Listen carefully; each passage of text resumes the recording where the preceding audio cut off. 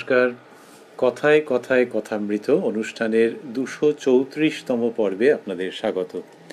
আপনারা এই অনুষ্ঠান দেখছেন প্রাণারাম ইউটিউব চ্যানেলে, যেখানে সপ্তাহে ছদিন, সোম থেকে শনিবার, সম্প্রচারিত হয় কথায় কথায় কথামৃত, আর রবিবার থাকে শ্রীরামকৃষ্ণের একজন পার্ষদের পূর্ণ জীবন প্রসঙ্গ। সবগুলি অনুষ্ঠানই শুরু হয় রাত্রি নটার সময়। শ্রী শ্রী রামকৃষ্ণ কথামৃততে আমরা গত কদিন ধরে ছিলাম এবং আজকেও সানন্দে অবস্থান করব পনেরোই জুন আঠারোশো চুরাশির প্রসঙ্গে।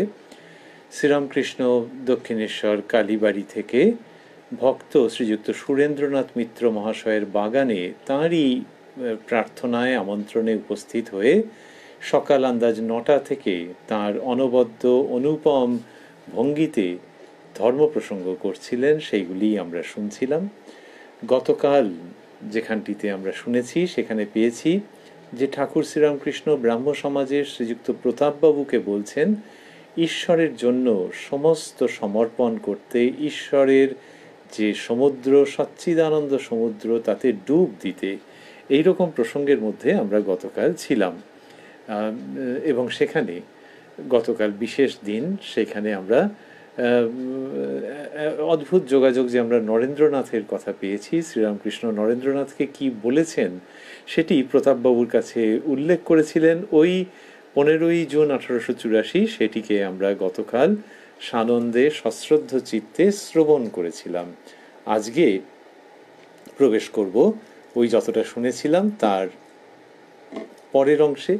প্রবেশ করব শ্রী শ্রী রামকৃষ্ণ কথামৃততে, যার সূচনায় কথামৃতকার শ্রীযুক্ত মহেন্দ্রনাথ গুপ্ত বা শ্রীম বা মাস্টার মহাশয় উদ্ধৃত করছেন, তব কথামৃতং তপ্ত জীবনং কবিভিরীৃতং কলমশাপহং, শ্রবণমঙ্গলং শ্রীমদাততং ভুবি গৃণন্তি ইয়ে ভূরিদা জনা শ্রীরামকৃষ্ণ বলছেন, ভক্তদের প্রতি, মাস্টারমশাই লিখছেন, ভক্তদের প্রতি। আমি আর আমার এইটির নাম, আমি আর আমার এইটির নাম অজ্ঞান। রাসমণি কালীবাড়ি করেছেন, এই কথাই লোকে বলে। কেউ বলে না যে ঈশ্বর করেছেন। ব্রাহ্ম সমাজ অমুক লোক করে গেছেন এই কথা আর কেউ বলে না যে ঈশ্বরের ইচ্ছায় এটি হয়েছে। এইরকমভাবে শ্রীরামকৃষ্ণ বোঝাচ্ছেন যে আমি আর আমার এই দুটি হচ্ছে অজ্ঞান। সেটি বোঝাবার সময় তিনি কি বললেন? এই কথাগুলিকে মাস্টারমশাই স্থূলাক্ষরে দিয়েছেন, যে বলছেন, যে রাসমণি কালীবাড়ি করেছেন, এই কথাই লোকে বলে। তো রানী রাসমণির প্রসঙ্গ আসছে যে তিনি কালীবাড়ি করেছেন, এইটা লোকে বলে। কেউ বলে না যে ঈশ্বর করেছেন, তাহলে এই কথাগুলি স্থূলাক্ষরে রাসমণি কালীবাড়ি করেছেন, এই কথাই লোকে বলে। কেউ বলে না যে ঈশ্বর করেছেন। ব্রাহ্ম সমাজ অমুক লোক করে গেছেন। এই পর্যন্ত স্থূলাক্ষরে এই কথা আর কেউ বলে না যে ঈশ্বরের ইচ্ছায় এটি হয়েছে। ওই প্রতাপবাবুর সঙ্গে কথা হচ্ছে, ব্রাহ্ম সমাজের প্রসঙ্গ তুলছেন। তা বললেন যে এইটি হচ্ছে আমি আর আমার। এইটার নামই হচ্ছে অজ্ঞান। যে মানুষে করেছে কিন্তু সব তো করছেন ঈশ্বর, সেইটা কেউ বলে না। বলে বলছেন আমি করছি এইটির নাম অজ্ঞান। হে ঈশ্বর, তুমি কর্তা আর আমি অকর্তা। তুমি যন্ত্রী, আমি যন্ত্র। এইটির নাম জ্ঞান। হে ঈশ্বর, আমার কিছুই নয়। এ মন্দির আমার নয়, এ কালীবাড়ি আমার নয়, এ সমাজ আমার নয়, এসব তোমার জিনিস। এ স্ত্রী, পুত্র, পরিবার, এসব কিছুই আমার নয়, সব তোমার জিনিস, এর নাম জ্ঞান, বলছেন শ্রীরামকৃষ্ণ প্রতাপবাবুকে। তো ওইখানে এই প্রসঙ্গ আসছে যে ঈশ্বরের ইচ্ছায় সব হয়েছে, এইটি জানার নামই হচ্ছে জ্ঞান। তাহলে ঈশ্বরের ইচ্ছায় হয়েছে বললে এই ব্যক্তি তাহলে আর নিজে কিছু কাজ করবেন না? যে সবই ঈশ্বরের ইচ্ছা এরকমভাবেই তিনি বলবেন, তা নয়। তিনি তার সাধ্যমতো কাজ করবেন, দায়িত্ব, কর্তব্য সমস্তই তিনি নির্বাহ করবেন, কিন্তু জানবেন যে সবটাই ঈশ্বরের ইচ্ছেই। তো এই তো সাংঘাতিক ব্যাপার যে দায়িত্ব, কর্তব্য কেউ যদি এরকমভাবে ভাবেন যে, যত পরিশ্রম করবেন, তত উন্নতি হবে, তাহলে তো ব্যক্তি একটা কিছু এসে যাচ্ছে এর মধ্যে। তা শ্রীরামকৃষ্ণ বলছেন হ্যাঁ ব্যক্তি পরিশ্রম করবেন, যেহেতু তার পরিশ্রম করবার বোধ রয়েছে। সাধুর সেটা নাই যিনি কিনা সব সব সব রকমভাবে ঈশ্বরের ওপর নির্ভর করছেন, তিনি ভাবছেন ঈশ্বরের ইচ্ছা হলে দেহ থাকবে, না হলে থাকবে না। আর যার এই বোধটা রয়েছে যে আমাকে করতে হবে, তিনি সেটা করবেন যতক্ষণ এই বোধ রয়েছে। কিন্তু তিনি জানবেন যে এই বোধটিও ঈশ্বরের দেওয়া। তাঁরই ইচ্ছাই সবটা হচ্ছে। আচ্ছা তাঁরই ইচ্ছাই হলে তাঁরই অধীন একটা কেমন যেন সবটাই এটা কিরম যে তার ইচ্ছে ছাড়া আর কিছু করবার নেই, এরকম কি একটু দুঃখের দুঃখের ব্যাপার? তা নয়। মানুষ যখন ওটা কিছুটা অনুমানে বোঝে, তারপরে যখন উপলব্ধিতে আসে যে তার ইচ্ছেতেই সব হচ্ছে, তখনই মানুষ জীবনে প্রথমবারের জন্য বিমল আনন্দ উপভোগ বা উপলব্ধি করতে আরম্ভ করে। যখন ঈশ্বরের ইচ্ছেকে এর মধ্যে দেখতে পায় এবং ঈশ্বরের ইচ্ছের সঙ্গে নিজেকে মিলিয়ে নেয়, তখন ঠিক ঠিক হয়। ধরা যাক, গান কেউ গাইছেন। এইবার যখন গান গাইছেন, তখন দেখা গেল যে সুরটা ঠিকমতো হচ্ছে না। কেউ বললেন যে, তুমি হারমোনিয়াম বাজাতে শেখো বা অন্য কোনো যন্ত্র। ধরা যাক হারমোনিয়াম। তুমি ওটা বাজাতে শেখো, সেইখানে দেখবে স্বরলিপি ধরে ধরে ধরে ধরে যেই বাজাতে পারবে, তারপর নিজে বুঝতে পারবে যে গলা মিলছে কিনা। এটা একটা শিক্ষার পদ্ধতি। তো তিনি যখন ওইরকমভাবে করছেন, তখন ওই হারমোনিয়ামের সঙ্গে গলা ঠিকমতো মিলছে কিনা। যেই মিলছে, তখন তো আর ওটাকে দাসত্ব বলে মনে হবে না যে, হারমোনিয়ামের দাসত্ব করছি। তখন হচ্ছে ঠিক, লোকে বলে সুরে সুরে মিলে গেছে, কি সুন্দর লাগছে, আগে বেসুরো হচ্ছিল। তো এই যে হারমোনিয়ামের সঙ্গে মিলে যাচ্ছে বা অন্য কোনো বাদ্যযন্ত্রের সঙ্গে মিলে যাচ্ছে সেই রকম ঈশ্বরীয় সুর, ঈশ্বরীয় ইচ্ছা, ঈশ্বরীয় পরিকল্পনা, তার সঙ্গে যখন ব্যক্তির সব কিছু মিলে যাচ্ছে, তখন অপূর্ব মূর্ছনা তৈরি হচ্ছে এবং সেই ব্যক্তি প্রথমবারের জন্য এমন আনন্দ পাচ্ছেন যেটি আগে কখনো পাননি। এই যে জিনিসটি হচ্ছে, করতে করতে করতে করতে ওটা সেট হয়ে যাচ্ছে। কীরকম? যখন হারমোনিয়াম বাজিয়ে বাজিয়ে একটি গান করতে করতে একজনের সেট হয়ে গেল, তখন যদি তিনি হারমোনিয়াম না বাজিয়ে এমনিও করেন, তখনও লোকে বলবে, আহ, কি সুন্দর সুর একেবারে, ঠিক সব, ঠিক ঠিক হচ্ছে। তেমনি যে ব্যক্তি ঈশ্বরকে স্মরণ করে তার সঙ্গে সুর মিলিয়ে নেওয়ার, তার ইচ্ছাতেই করছেন, এইটি ভেবে নিয়ে কর্ম করবার প্রযত্ন করেন তিনি করতে করতে করতে করতে যখন দক্ষ, পারদর্শী হয়ে যাবেন, তখন যদি ওটা স্মরণ নাও করেন, তাহলেও তার কাজ ওই ঈশ্বরের কাজের সঙ্গে সম্পূর্ণ সঙ্গতিপূর্ণ হবে। এইটা হচ্ছে জগতের নিয়ম, জগতের সঙ্গীতের নিয়ম, জগতের সুরের নিয়ম। সেই জায়গা শ্রীরামকৃষ্ণ দেখিয়ে দিচ্ছেন যে আউট অফ টিউন হতে নেই। বললেন আউট অফ টিউনটাকে কি বলছেন? বলছেন, আমি আর আমার এইটির নাম অজ্ঞান, যে আমি করছি আমি করছি, আমার সব কিছু এটির নাম অজ্ঞান। এমনি লৌকিক দৃষ্টিতেও দেখলে বোঝা যাবে যে কেউ কেউ বলে যে ও যা মানে সুন্দর দেখতে না? তা সেখান থেকে কেউ যদি ভাবেন যে এই সৌন্দর্য দৈহিক সৌন্দর্য হতে পারে, মানসিক। যে যা ছবি আঁকে না, তাহলে দৈহিক সৌন্দর্যের জন্য হোক বা ছবি আঁকার যে দক্ষতা, তার জন্য যদি কেউ ভাবে যে এটা আমার এই দক্ষতা আছে, আমার মধ্যে এই গুণ রয়েছে, তখনই তো মুশকিল যে অন্যকে সে খাটো করে দেখবে অন্যের উন্নতিতে ঈর্ষান্বিত হবে, কত রকম হতে আরম্ভ করবে। কিন্তু যাকে দেখতে ভালো, সে যদি স্বাস্থ্য রক্ষার চেষ্টা করে, তাহলে খারাপ তো কিছু নয়। যে ছবি আঁকতে পারে, সে যদি আরও ভালো ভালো ছবি আঁকার চেষ্টা করে, তাহলে খারাপ কিছু নয়। কিন্তু ভাববে যে এটা ঈশ্বরেরই দেওয়া। তিনি রূপ দিয়েছেন, তিনি হাতের তুলি চালনা করবার ক্ষমতা দিয়েছেন। এইটা ভেবে যখন কেউ করবে, তখন তার জীবন অন্য রকমের সার্থকতায় রঞ্জিত হয়ে উঠবে, প্রস্ফুটিত ভাস্বর হয়ে উঠবে। শ্রীরামকৃষ্ণ সেই ঈশ্বর নির্ভরতার সুমহান সংগীত তথা শিল্প মানুষের জীবনে এনে দিচ্ছেন, বলছেন যে হে ঈশ্বর, তুমি কর্তা, আমি অকর্তা। কোনো কোনো ডাক্তার বিশ্বাস করেন, কেউ কেউ প্রেসক্রিপশনেও লেখেন আই ট্রিট হি কিয়র্স তো এই যে একটা ভাব যে আমাকে ট্রিটমেন্ট করতে হবে, আমি যা শিখেছি সেই সমস্ত বিদ্যা দিয়ে আমাকে করতে হবে, কিন্তু কিন্তু আলটিমেটলি ওইটা। প্রেসক্রিপশনেও কেউ কেউ লিখে থাকেন, আবার কেউ কেউ গভীরভাবে বিশ্বাস করেন। তো এই যে জায়গা যে তিনি করছেন, শ্রীরামকৃষ্ণ বলছেন, হে ঈশ্বর তুমি কর্তা আর আমি অকর্তা, তুমি যন্ত্রী, আমি যন্ত্র। এইটির নাম জ্ঞান। এই জ্ঞানের শিক্ষা, এই জ্ঞানের দীক্ষা দিচ্ছেন শ্রীরামকৃষ্ণ। তার মানে এই নয় যে এটা আগে কখনো বলা হয়নি, কিন্তু তিনি বিশেষভাবে আনছেন যে জ্ঞান মানে হচ্ছে ওইটি। হে ঈশ্বর, তুমি কর্তা, আমি অকর্তা, তুমি যন্ত্রী, আমি যন্ত্র। এইটির নাম জ্ঞান। হে ঈশ্বর, আমার কিছুই নয় এ মন্দির আমার নয়, এ কালীবাড়ি আমার নয়, এ সমাজ আমার নয় এসব তোমার জিনিস। আরও চলছে বাক্য, কীরকম সুন্দর মন্দির দিয়ে শুরু করলেন, তারপর সমাজ পর্যন্ত চলে গেল।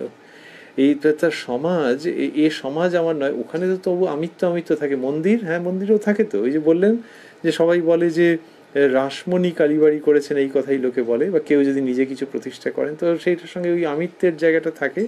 তা বলছেন যে, এ এ মন্দির আমার নয়, এ কালীবাড়ি আমার নয়, এ সমাজ আমার নয় এসব তোমার জিনিস। এ স্ত্রী, পুত্র, পরিবার এসব কিছুই আমার নয়, সব তোমার জিনিস, এর নাম জ্ঞান। এটি শ্রীরামকৃষ্ণ শেখাচ্ছেন। তাহলে এটা যদি হয়, তাহলে সে ব্যক্তি ওই মন্দির তথা পরিবার, এদের প্রতি দায়িত্ব তাহলে ছেড়ে দেবেন নাকি? তা নয়, সেটা একবারের জন্যও বলা হয়নি। দায়িত্ব, কর্তব্য সমস্তই রয়েছে। তা নাহলে তো সব ছন্ন ছাড়া হয়ে যাবে। তাই ঈশ্বর প্রণিধান, ঈশ্বরকে সন্ধান করা মানে কি তাই? তা নয়। যেমনটি চলছিল তেমনটি।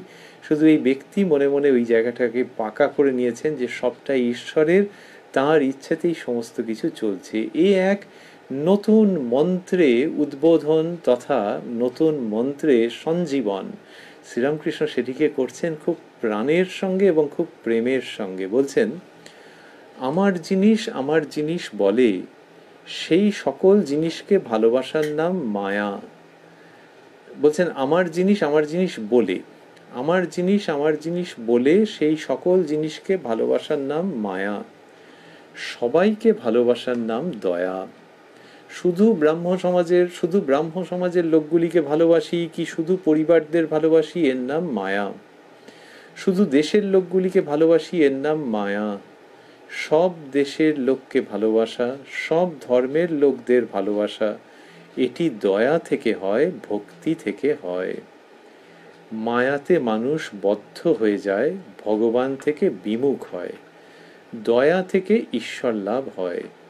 সুখদেব, নারদ, এরা দয়া রেখেছিলেন। কি সুন্দর করে বলছেন, বাগানে এই সমস্ত কথা হচ্ছে সুরেন্দ্রবাবুর বাগানে এবং শ্রীরামকৃষ্ণ কি অপূর্ব ভঙ্গিতে বলে যাচ্ছেন, বললেন, আমার জিনিস আমার জিনিস বলে সেই সকল জিনিসকে ভালোবাসার নাম মায়া। তাহলে ওই ভালোবাসার জায়গাটাকে রাখছেন কিন্তু, যে মানুষে তো ভালোবাসে, যে এটা আমার, এরকম বলে।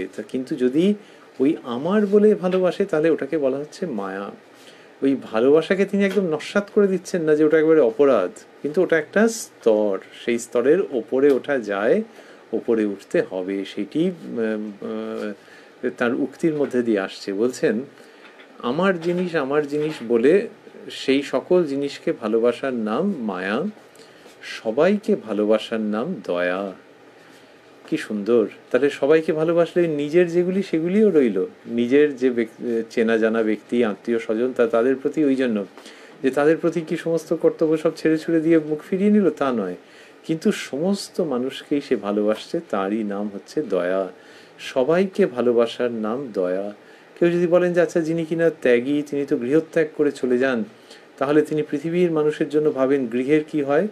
তার উত্তর হচ্ছে যে তিনি এমন একটা অবস্থানে থাকেন যেখানে তিনি সকলের জন্য ভালো সকলকে ভালোবাসেন, সকলের ভালো চান, মন প্রাণ দিয়ে। ত্যাগী, প্রেমী ব্যক্তি যিনি, সকলের চাইছেন তার মধ্যে তার বাড়ির লোকগুলিও আছেন।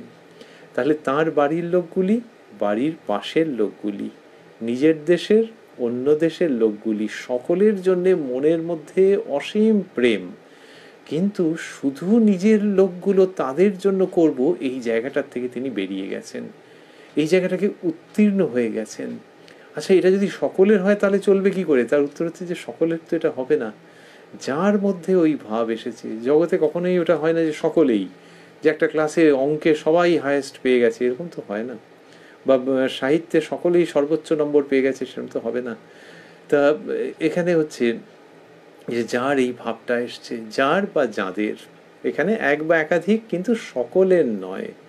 তাহলে ওই সর্বোচ্চ নম্বর অনেকজনে মিলে পেয়েছে হয়তো ব্র্যাকেটের মধ্যে, কিন্তু সবাই তো পাবে না। তো এই যে সকলের জন্য যেটা হচ্ছে, এই দয়া এই দয়া যেটা হচ্ছে, তাহলে অন্যটা মায়া মায়া দিয়ে তো ভরণ পোষণ হচ্ছে আত্মীয় স্বজনের। আর দয়া যিনি, তাহলে দুটোই ঈশ্বর রেখে দিয়েছেন, শ্রীরামকৃষ্ণ অন্যত্র ব্যাখ্যা করেছেন। তো আর দয়া যার হচ্ছে তার বিশ্বের মানুষের জন্য। সমস্ত মানুষ, জীব, জন্তু সকলের প্রতি তার ওই প্রেম আসছে, ভালোবাসা আসছে। এই দুটো মিলে সৃষ্টি। তা শ্রীরামকৃষ্ণ দেখাচ্ছেন যে ঈশ্বরীয় পথে যাত্রা মানে মায়া থেকে দয়ার দিকে চলে যাওয়া। বললেন যে সবাইকে ভালোবাসার নাম দয়া। শুধু ব্রাহ্ম সমাজের লোকগুলিকে ভালোবাসি, কি শুধু পরিবারদের ভালোবাসি? এর নাম মায়া। শুধু দেশের লোকগুলিকে ভালোবাসি এর নাম মায়া, সব দেশের লোককে ভালোবাসা, সব ধর্মের লোকদের ভালোবাসা, এটি দয়া থেকে হয়, ভক্তি থেকে হয়। কীরকম সুন্দর বললেন, দয়া থেকে হয়, ভক্তি থেকে হয়। ভক্তিটা এলো থেকে এর মধ্যে? শ্রীরামকৃষ্ণ দেখাচ্ছেন, এই সত্যের প্রতি মানুষের দৃষ্টি উন্মোচন করে দিচ্ছেন যে এটা একটা কথার কথা নয়, ওই দয়াটা আসে ভক্তি থেকে। ঈশ্বরের প্রতি নিখাদ ভক্তি হেলে, এলে তখন মায়া ক্ষয় প্রাপ্ত হয় আর প্রবল বেগে দয়া মানুষের হৃদয়কে অধিকার করে নেয় প্রবল শক্তিতে। তো ঈশ্বরের প্রতি ভক্তি এমনই একটা ব্যাপার, এমনই তার একটা ম্যাজিক্যাল টাচ আছে যে তাতে মনের মধ্যে দয়া উৎপন্ন হয়, সর্বজীবের প্রতি প্রেম উৎপন্ন হয়। তা বললেন যে সব সব দেশের লোককে ভালোবাসা, সব ধর্মের লোকদের ভালোবাসা, এটি দয়া থেকে হয়, ভক্তি থেকে হয়। বলে বলছেন, মায়াতে মানুষ বদ্ধ হয়ে যায়, ভগবান থেকে বিমুখ হয়। দয়া থেকে ঈশ্বর লাভ হয়। সুখদেব নারদ এরা দয়া রেখেছিলেন। দয়া রেখেছিলেন কথাটির মানে কি? ইঙ্গিত হচ্ছে যে এরা একেবারে সচ্চিদানন্দের মধ্যে, ঈশ্বরের মধ্যে লীন হয়ে যাননি, এরা দয়াটুকু রেখেছিলেন, সেটিকে অবলম্বন করে জগতে তারা থেকেছেন, জগতের মানুষের আত্যন্তিক কল্যাণ সাধনের জন্য। এবারে ওই প্রতাপবাবু, যার সঙ্গে কথা বলছিলেন শ্রীরামকৃষ্ণ, তিনি প্রশ্ন করছেন, মাস্টারমশাই লিখছেন, প্রতাপ, যারা মহাশয়ের কাছে আসেন, তাদের ক্রমে ক্রমে উন্নতি হচ্ছে তো? মানে শ্রীরামকৃষ্ণের ভক্তদের কথা জিজ্ঞাসা করছেন। এতই একটা আন্তরিক জায়গা থেকে শ্রীরামকৃষ্ণ বলছেন তো, তার প্রতাপবাবু এটা জিজ্ঞাসা করছেন। হয়তো ঠাকুর শ্রীরামকৃষ্ণের কথা শুনে তার অত্যন্ত ভালো লাগছে। হয়তো তার মনে হচ্ছে যে, এর তো সঙ্গ নিত্য লাভ করি না, তাহলে যারা আসেন তারা না জানি কি সৌভাগ্যবান? তিনি প্রশ্ন করছেন, যারা মহা, যারা মহাশয়ের কাছে আসেন, তাদের ক্রমে ক্রমে উন্নতি হচ্ছে তো, শ্রীরামকৃষ্ণ? আমি বলি যে সংসার করতে দোষ কি? তবে সংসারে দাসীর মতো থাকো। সরাসরি প্রশ্নটির উত্তর দিচ্ছেন না, কিন্তু সংসারী মানুষের জন্য যে মহাবাণী, সেটিকে পরিবেশন করছেন যে অত সংখ্যা তত্ত্বের হিসেবে যে কতজনের কত শতাংশ উন্নতি হয়েছে, সেটার মধ্যে যাব না। কিন্তু সংসারী মানুষদের জন্য যা বলি, অর্থাৎ তুমি, ভাবটি এরকম যেন যে তুমি যে ওখানে দক্ষিণেশ্বরে আসতে পারছ না মাঝে মাঝে উপস্থিত হতে পারছ না, তাতে কিছু অসুবিধা নেই। এই তো মূল কথা। আমি বলি যে, আমি বলি যে, সংসার করতে দোষ কি? তবে সংসারে দাসীর মতো থাকো বলে বলছেন। দাসী মনিবের বাড়ির কথায় বলে, আমাদের বাড়ি। কিন্তু তার নিজের বাড়ি হয়তো কোনো পাড়া গায়ে মনিবের বাড়িকে দেখিয়ে মুখে বলে, আমাদের বাড়ি। মনে জানে যে, ও বাড়ি আমাদের নয় আমাদের বাড়ি সেই পাড়া গায়ে। আবার মনিবের ছেলেকে মানুষ করে আর বলে, হরি আমার বড় দুষ্টু হয়েছে। আমার হরি মিষ্টি খেতে ভালোবাসে না। আমার হরি মুখে বলে বটে, কিন্তু জানে যে হরি আমার নয় মনিবের ছেলে। এই শব্দগুলি স্থূলাক্ষরে আমার হরি মুখে বলে বটে। এইসব বলার পর শ্রীরামকৃষ্ণ বলছেন, তাই যারা আসে তাদের আমি বলি সংসার করো না কেন, তাতে দোষ নাই, তবে ঈশ্বরেতে মন রেখে করো। যেন যে বাড়িঘর পরিবার আমার নয়, এসব ঈশ্বরের। আমার ঘর ঈশ্বরের কাছে। আর বলি যে তার পাদপদ্মে ভক্তির জন্য ব্যাকুল হয়ে সর্বদা প্রার্থনা করবে। কি সুন্দর করে বলছেন এই প্রসঙ্গ যে ওই দাসী মনিবের বাড়ির কথায় বলে, আমাদের বাড়ি। আর সত্যি সত্যি তাই যে যিনি হোল টাইমার আছেন হয়তো, এখনকার দিনের ভাষায় বলতে গেলে তিনি বলেন আমাদের বাড়ি। আর শ্রীরামকৃষ্ণ বলছেন যে, কিন্তু তার নিজের বাড়ি হয়তো কোনো পাড়া গায়ে মনিবের বাড়িকে দেখিয়ে মুখে বলে আমাদের বাড়ি। এর মধ্যে একটা মিষ্টত্ব আছে যে, এই এই আমাদের বাড়ি বুঝলে? আচ্ছা মনে জানে যে, মনে জানে যে ও বাড়ি আমাদের নয়, আমাদের বাড়ি সেই পাড়া গাঁয়ে আবার মনিবের ছেলেকে মানুষ করে আর বলে, হরি আমার বড় দুষ্টু হয়েছে, আমার হরি মিষ্টি খেতে ভালোবাসে না।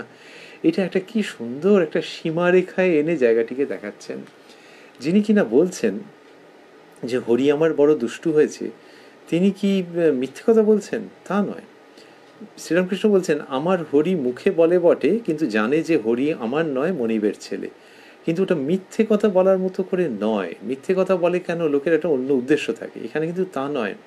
ওই যে হরি, বাচ্চা ছেলে, তাকে উনি মায়ের মমতা দিতে চাইছেন, সেই জন্য বলছে, আমার বলছেন, আমার হরি বড় দুষ্টু হয়েছে, আমার হরি মিষ্টি খেতে ভালোবাসে না।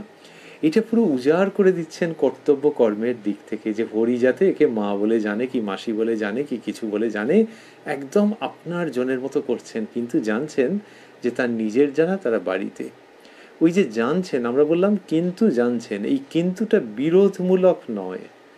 এই কিন্তুর মধ্যে একটা অদ্ভুত সমন্বয় আছে।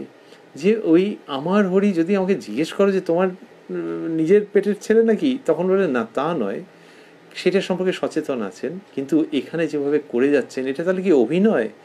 এটা অভিনয়ও ঠিক নয়। অভিনয় অভিনয় মানে একটা প্রবঞ্চনা বোঝায়। কিন্তু এখানে হচ্ছে ওই দায়িত্ব। অদ্ভুত উদাহরণ যে দায়িত্ব যে এর প্রতি এটা করতে হবে, আর একে আমি ভালোবাসি। ওই যে আমার হরি মিষ্টি খেতে ভালোবাসে না, এটা যে বলছেন ভালোবাসেন, কিন্তু বন্ধন নেই। বন্ধন নেই, আসক্তি নেই, জানছেন যে বাড়িতে যারা আছে তারাই আসল। এই অবস্থা, এটা কি চট করে হয়? এটা, এটার জন্য একটা প্রচেষ্টা লাগে, তাকেই বলা হচ্ছে সাধন। এই যে প্রচেষ্টা, তাহলে মানুষ এমনি এমনি ঈশ্বরের দিকে এগিয়ে যাবে? সংসারী মানুষের জন্য শ্রীরামকৃষ্ণ বলছেন তো, বললেন, আমি বলি যে সংসার করতে দোষ কি? তবে সংসারে দাসীর মতে মতো থাকো। দাসী মানে কোনো দাসত্ব স্বীকার করে থাকে, ওরকম বলছেন না, কিন্তু ওই খুব ডেডিকেটেড যিনি হেল্পিং হ্যান্ড তার জায়গাটা দেখাচ্ছেন যে সেই রকমভাবে তিনি করছেন এবং তার ওই বাড়ির দিকে সমস্ত মনটা পড়ে আছে। আবার এখানে দায়িত্ব কর্তব্যে কোনো ত্রুটি নেই। দায়িত্ব কর্তব্য তো বড়রা বোঝে যে কটায় শুতে যাচ্ছে, কটায় উঠছে, সব পরিষ্কার পরিচ্ছন্ন আছে কিনা, সেটা একরকম। সেদিক দিয়ে তো নেই, আর যেটা শক্ত সেটা হচ্ছে বাচ্চা। বাচ্চা কীরকম জানে? বাচ্চা জানে নিজের দিদা কি নিজের মায়ের মতো, এরকম জানে। সুতরাং দায়িত্বটা ওই জায়গা পর্যন্ত নির্বাহ করছেন। আবার জানছেন যে এরা শেষ পর্যন্ত আবার এই যে বললেন, আমার হরি মুখে বলে বটে, কিন্তু জানে যে হরি আমার নয়, মনিবের ছেলে। তাহলে নিজের ছেলে হোক, মেয়ে হোক, আত্মীয় স্বজন হোক, তারা দেশে আছে। এই যে সমন্বয় শ্রীরামকৃষ্ণ সেটি দেখাচ্ছেন যে এটি হলে আর সংসারে ভয় নেই, এই সংসারে থেকেই ঈশ্বর লাভ হবে। তাই যারা বলছেন, তাই যারা আসে, তাদের আমি বলি, সংসার করো না কেন, তাতে দোষ নাই। তবে ঈশ্বরেতে মন রেখে করো, যেন যে বাড়িঘর পরিবার আমার নয়, এসব ঈশ্বরের। আমার ঘর ঈশ্বরের কাছে। আর বলি যে তার পাদপদ্মে ভক্তির জন্য ব্যাকুল হয়ে সর্বদা প্রার্থনা করবে। ওই তার প্রতি ভক্তি এলে সবটা হয়ে যাবে। একটু আগে বললেন শ্রীরামকৃষ্ণ যে ভক্তি এলে দয়া আসে, আর এখানে দেখাচ্ছেন যে ভক্তি এলে এই নিরাসক্ত আনন্দপূর্ণ কর্তব্যের ভাব ভাবটি আসে। তার মানে ভক্তি হচ্ছে সেইটি যেটি সর্বরোগহর এবং সর্বশান্তি প্রদায়িনী শ্রীরামকৃষ্ণ সেই জায়গাতে দেখাচ্ছেন, দেখিয়ে বলছেন, মাস্টারমশাই লিখছেন এইবারে কথামৃতর মধ্যে, বিলাতের কথা আবার পড়িল। এর আগে ওই প্রতাপবাবুর কাছ থেকে আমরা পেয়েছি যে তিনি বিলাতের কথা বলেছেন, তিনি বিলাত গিয়েছিলেন। শ্রীরামকৃষ্ণ বলেছিলেন যে, তুমি তো ঘুরে এসছো, কি দেখেছ? এখানে মাস্টারমশাই লিখছেন, বিলাতের কথা আবার পড়িল। একজন ভক্ত বলিলেন, আজকাল বিলাতের পণ্ডিতেরা নাকি ঈশ্বর আছেন, এ কথা মানেন না। প্রতাপ, মুখে যে যা বলুন, আন্তরিক তাঁরা যে কেউ নাস্তিক, তা আমার বোধ হয় না। আন্তরিক তারা যে কেউ নাস্তিক, তা আমার বোধ হয় না। এই জগতের ব্যাপারের পেছনে যে একটা মহাশক্তি আছে, এ কথা অনেককেই মানতে হয়েছে। শ্রীরামকৃষ্ণ, তাহলেই হলো। শক্তি তো মানছে, নাস্তিক কেন হবে? ওই যে জগতের পেছনে একটা মহাশক্তি আছে, এইটা প্রতাপবাবু বলছেন যে এই কথা অনেককেই মানতে হয়েছে। তা শ্রীরামকৃষ্ণ বলছেন যে শক্তি মানছে মানেই তার মধ্যে একটা আস্তিক্য বুদ্ধি আছে, তাহলে আর নাস্তিক কেন বলছো? প্রতাপ, তাছাড়া ইউরোপের পণ্ডিতেরা মরাল গভর্নমেন্ট এ কথাও মানেন। মরাল গভর্নমেন্ট মাস্টারমশাই বন্ধনীর মধ্যে দিয়েছেন, সৎকার্যের পুরস্কার আর পাপের শাস্তি এই জগতে হয়। তা বললেন, এই এ কথাও মানেন। অনেক কথাবার্তার পর প্রতাপ বিদায় লইতে গাত্রোত্থান করিলেন। সুরেন্দ্রবাবুর বাগানে প্রতাপবাবু এসেছিলেন, এবার তিনি উঠবেন। শ্রীরামকৃষ্ণ প্রতাপের প্রতি, আর কি বলব তোমায়? তবে এই বলা যে আর ঝগড়া বিবাদের ভেতর থেকো না। আগে বলেছেন যে, কে কি বলল সেই সব নিয়ে ঝগড়া বিবাদ, এই সমস্ত করো না। প্রতাপবাবুর জীবনে ওটা সত্য ছিল। তো শ্রীরামকৃষ্ণ বলছেন, ওইটার মধ্যে থেকো না। আগে বলেছেন যে, এবার সব মনটা তার প্রতি দিয়ে দাও, ঈশ্বরের প্রতি। বলছেন আবার, আর এক কথা, ওই প্রতাপবাবু বিদায় নেবেন, তার জন্য অনুমতি চাইছেন ওই বিদায় লইতে, গাত্রোত্থান করিলেন, তখনও শ্রীরামকৃষ্ণ তাকে বলছেন, কি অপূর্ব ভাব! একে দয়া, ভালোবাসা, এই সমস্ত শব্দ উজাড় করেও বর্ণনা করা যায় না, পরিমাপ করা যায় না। যে যেতে যেতে ওই কথাগুলো বলে রাখি। বলছেন শ্রীরামকৃষ্ণ আর এক কথা, আর এক কথা। কামিনী কাঞ্চনই ঈশ্বর থেকে মানুষকে বিমুখ করে, সেদিকে যেতে দেয় না। এই দেখো না, সকলেই নিজের পরিবারকে সুখ্যাত করে, সকলের হাস্য। তা ভালোই হোক আর মন্দই হোক, যদি জিজ্ঞাসা করো, তোমার পরিবারটি কেমন গা? অমনি বলে, আজ্ঞা আগে খুব ভালো প্রতাপ, তবে আমি আসি। এই মাঝখানে প্রতাপবাবু ইন্টারাপ্ট করে বিদায় নিয়ে চলে গেলেন। আর শ্রীরামকৃষ্ণ কি বলছিলেন? বলছিলেন যে এই যে এমনভাবে বলেছেন, সবাই হেসে ফেলেছে যে বাস্তব কথা এবং শুনে এই বৈপরীত্য থেকে হাসি পাচ্ছে যে এই দেখো না, সকলেই নিজের পরিবারকে সুখ্যাত করে, যে স্ত্রীকে, যে কেউ আর বলবে না যে না, কিছু অসুবিধে আছে, সীমাবদ্ধতা আছে, বলবে না। তা বললেন যে তা ভালোই হোক আর মন্দই হোক, যদি জিজ্ঞাসা করো তোমার পরিবারটি কেমন গা, অমনি বলে আগে খুব ভালো। মানে এটা হচ্ছে ওই আসক্তির জায়গা থেকে তৈরি হচ্ছে। এইটা শ্রীরামকৃষ্ণ বলছিলেন। প্রতাপবাবু আগে কত কথা শুনেছেন, কিন্তু এইখানটাতে বললেন যে, তবে আমি আসি। এইটি মাস্টারমশাইয়ের ভালো লাগেনি, কষ্ট হয়েছে। এইরকম উপলক্ষ কথামৃততে খুব কম আছে, কিন্তু এটি ভারী, মর্মস্পর্শী, অন্য রকমের গভীর। ওই যেই মাস্টারমশাই লিখছেন যে, প্রতাপ, তবে আমি আসি, তারপরেই তিনি লিখছেন, প্রতাপ চলিয়া গেলেন। ঠাকুরের অমৃতময়ী কথা কামিনী কাঞ্চন ত্যাগের কথা সমাপ্ত হইল না। সুরেন্দ্রের বাগানে বৃক্ষস্থিত পত্রগুলি দক্ষিণা বায়ু সংঘাতে দুলিতেছিল ও মর্মর শব্দ করিতেছিল। কথাগুলি সেই শব্দের সঙ্গে মিশাইয়া গেল। একবার মাত্র ভক্তদের হৃদয়ে আঘাত করিয়া অবশেষে অনন্ত আকাশে লয় প্রাপ্ত হইল। মাস্টারমশাইয়ের ভেতরটা হাহাকার করছে। লিখছেন কিন্তু প্রতাপের হৃদয়ে কি কথা প্রতিধ্বনিত হয় নাই? এই হাহাকারের যে বর্ণনা মাস্টারমশাই দিয়েছেন, অল্প একটি দুটি বাক্যের মধ্যে দিয়ে, খুব সীমিত শব্দের মধ্যে দিয়ে, তা অসাধারণ। কথামৃতের মধ্যে এই রকম উপলক্ষ প্রায় পাওয়া যায় না বলেই চলে, বললেই চলে যে একজন হঠাৎ করে স্থান ত্যাগ করেছেন এবং মাস্টারমশাইয়ের অন্তরটা যেন বিদীর্ণ হয়ে যাচ্ছে যে ঠাকুর যা বলছিলেন শেষের দিকে এই লোকটা শুনল না? প্রতাপবাবু শুনলেন না? তা সেটা বলার মধ্যে কি একটা অদ্ভুত বেদনা ঋণ ঋণ করে যেন বাজছে। বলছেন, প্রতাপ চলিয়া গেলেন। এই যে প্রতাপ চলিয়া গেলেন, এর মধ্যে কি ব্যথা? যে আহা হা আরেকটু শুনে গেল না? এই অমৃত কথা জগতে আর কোথায় পাবে? ভগবান স্বয়ং অবতীর্ণ হয়ে বলছেন নিজের জন্য কিচ্ছু চান না, নিজের শরীর পাত করে দিচ্ছেন মানুষের জন্যে। তুমি যাবে বলে উঠে দাঁড়িয়েছিলে আর সেই সময় তিনি বলছিলেন, আর তুমি কথা শেষ করার আগে চলে গেলে? এতে প্রতাপবাবুর প্রতি রাগ নয়। প্রতাপ চলিয়া গেলেন। এটা হচ্ছে ঠিক আপনজন, তিনি চলে গেলেন। এইখান থেকে যে কষ্ট হয়, সেই রকম কষ্ট মাস্টারমশাইয়ের লেখনির মধ্যে দিয়ে উৎসাহিত হচ্ছে। ওই যে শ্রীরামকৃষ্ণ বলছেন যে, সকলের প্রতি দয়া আর মাস্টারমশাই তাকে এইরকম কাছ থেকে দেখেছেন, কাছ থেকে পেয়েছেন। এইসব কথা লিখছেন কবে? তখন কিনা ভাবটা আরও বেশি মনের মধ্যে বেশ বসে গেছে। সেরম সময় তো কথামৃত রচনা করছেন, তা তখন নিশ্চয়ই মনে হয়েছিল আঠারোশো চুরাশি সালে। আর রচনা করবার সময় আরও মনে হয়েছে যে, আহা, চলে গেল চলে গেল গো। এই যে অবস্থা, সেই রকম একটা হাহাকার মাস্টারমশাই কথামৃতর মধ্যে চিত্রিত করছেন, বর্ণনা করছেন। প্রতাপ চলিয়া গেলেন। প্রতাপ চলিয়া গেলেন। ঠাকুরের অমৃতময়ী কথা কামিনী কাঞ্চন ত্যাগের কথা সমাপ্ত হইল না। তো ঠাকুর যে কামিনী কাঞ্চন ত্যাগের কথা বলেন, তার মানে কি সবাইকে সরিয়ে রাখতে বলেন?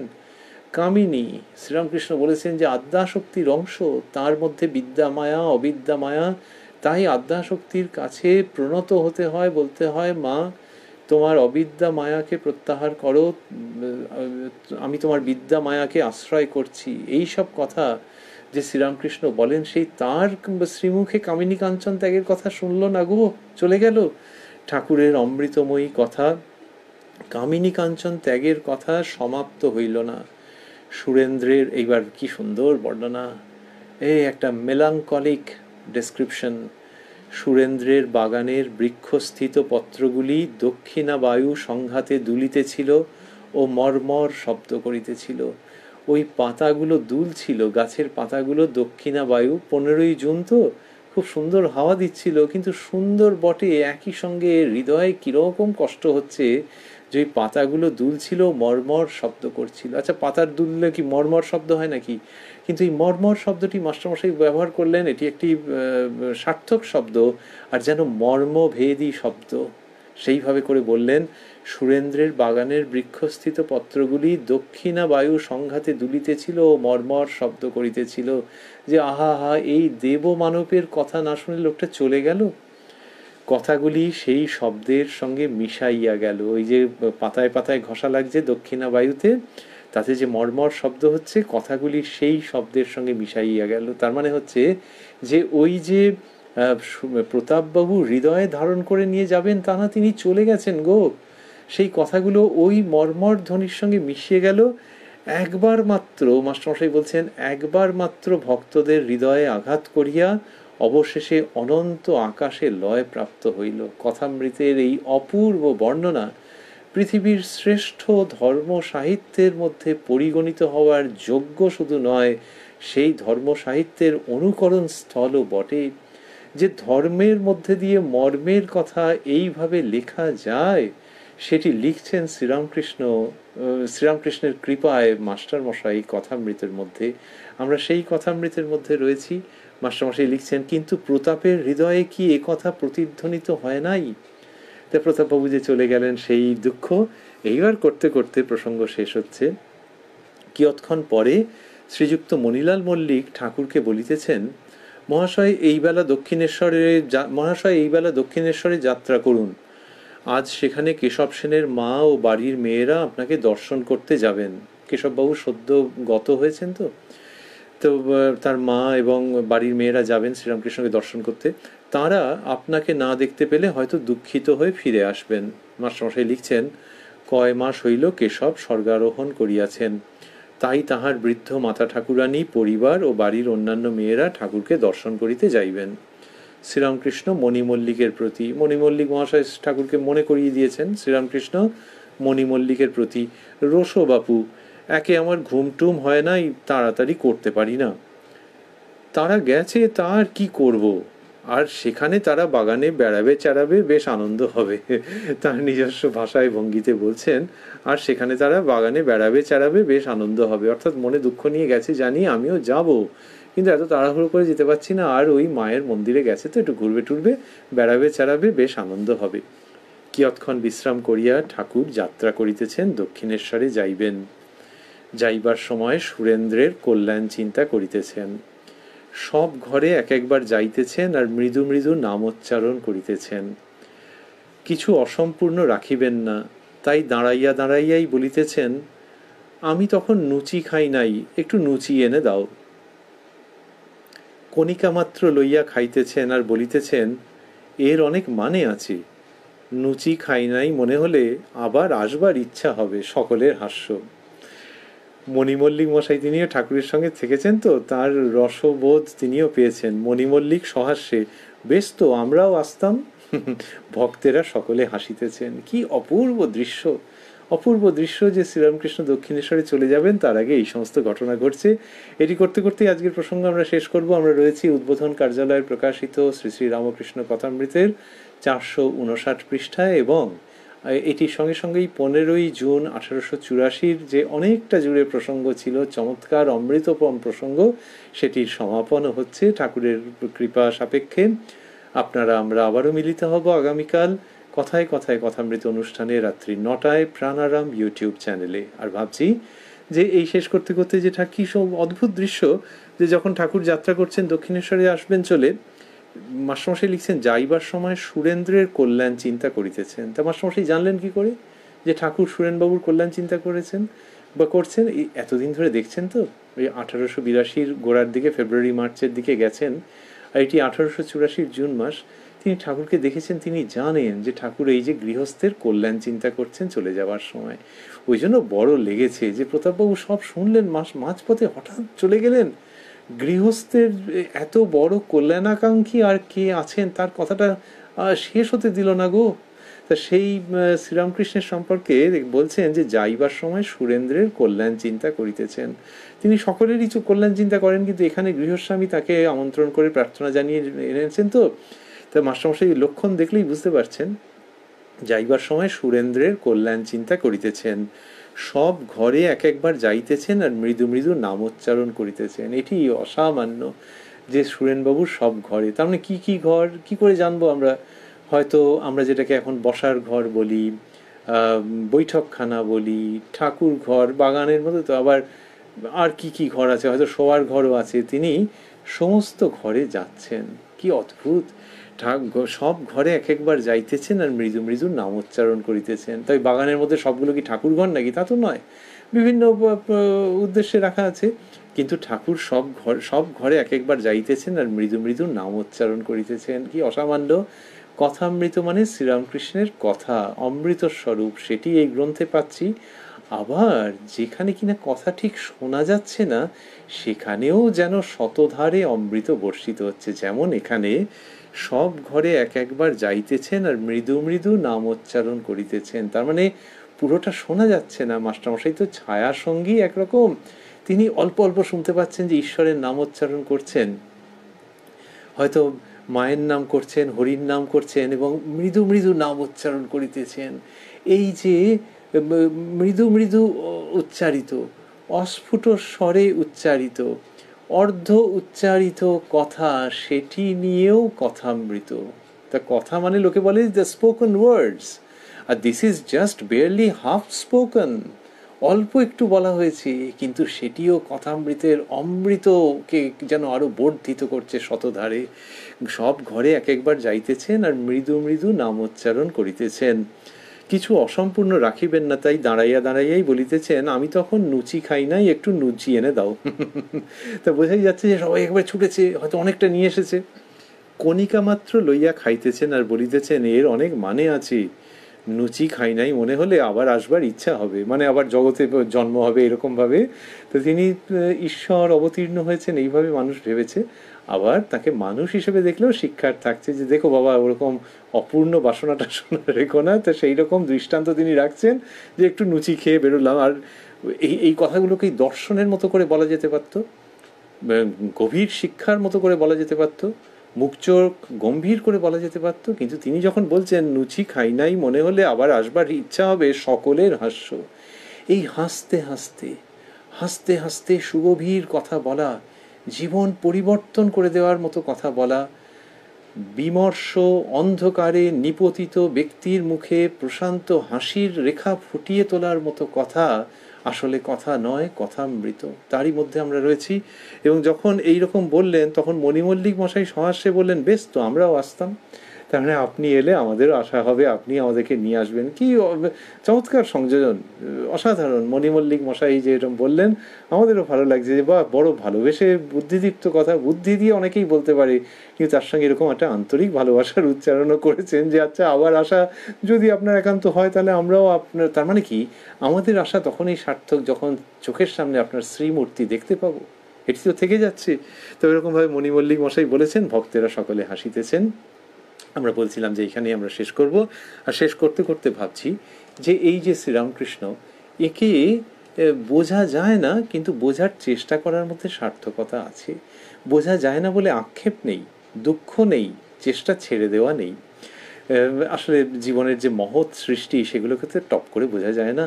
যে কোনো সংগীত, যে কোনো শিল্প এই তো সঙ্গে বুঝে ফেললাম, এরকম হয় না তো? ধীরে ধীরে ধীরে ধীরে মনের মধ্যে ওটি প্রসারিত হয় এবং মনোজগৎকে অধিকার করে আনন্দ প্রদান করে। শ্রীরামকৃষ্ণ সেই রকমই একটি ছবির মতো, একটি গানের সুরের মতো, একটি শৈল্পিক নির্মাণের মতো। তিনি এই যে আমাদের চোখের সামনে দেখছি যে কি অদ্ভুত ঘটনা ঘটছে, আর মাস্টারমশাই লিখছেন যে, সব ঘরে এক একবার যাইতেছেন আর মৃদু মৃদু নাম উচ্চারণ করিতেছেন। এই দৃশ্যটি আমাদের খুব চমৎকার লাগছে। সুরেনবাবুর যে ঘর, সে এখন আর নেই।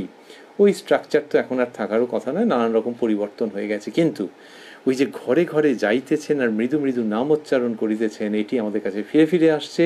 কেননা ঘর যেমন একটা বাড়ির মধ্যে থাকে, তেমনি মনের মধ্যেও তো থাকে। মনের মধ্যে ওই ড্রয়িং রুম তারপরে বেডরুম তারপরে শ্রাইন যে, মনের মধ্যে মানুষের কত রকমের তো ঘর রয়েছে। শ্রী শ্রী রামকৃষ্ণ কথামৃত শুনতে শুনতে আমাদের মনে হয় যে ভগবান শ্রীরামকৃষ্ণ, তিনি কিন্তু আসলে ঘরে ঘরেই যাচ্ছেন আর মৃদু মৃদু নাম উচ্চারণ করছেন। তাই আমাদের অন্তরের সমস্ত ঘরে যে আমাদের ভাবতে ভালো লাগছে যে যখন আমরা শ্রীরামকৃষ্ণকে চিন্তা করছি, সুরেনবাবু তো প্রার্থনা করে নিমন্ত্রণ করে বাগানে নিয়ে গিয়েছিলেন, আমরাও যখন শ্রীরামকৃষ্ণকে স্মরণ করছি তখন যেন প্রার্থনা করছি যে তিনি যেন আমাদের অন্তরে এসে অবস্থান করেন আর তার স্বভাবই এমনই, তার পবিত্র, মিষ্ট স্বভাব এমনই যে তিনি ঘরে ঘরে যান। তা আমাদের সব ঘরগুলো কি ভালো? হয়তো ভালো নয়।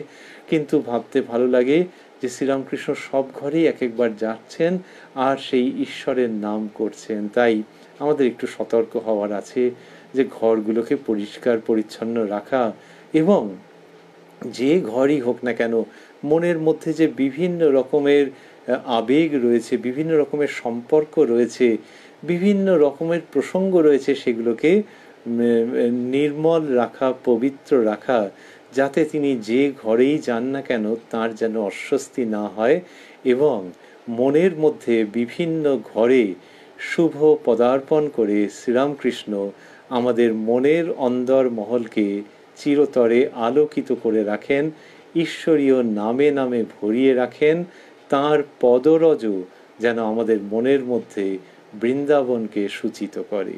ওং নিরঞ্জনং নিত্যমনন্ত রূপং ভক্তানুকম্পা ধৃত বিগ্রহং বৈ ঈশাবতারং পরমেশমিড্যং তং রামকৃষ্ণং শিরসা নমামহ